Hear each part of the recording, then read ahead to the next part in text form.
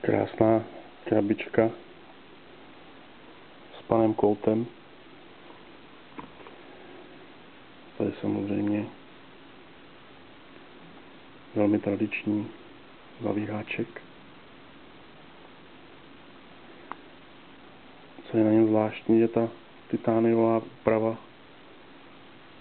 čepelí, což působí velice elegantně ve spojení s tím, s tou světlou mosazí a černým zřejmě delrinem, nevím, netuším, co to je přesně za materiál. Moc pěkný dárek. Elegantní. Pěkně zpracovaný.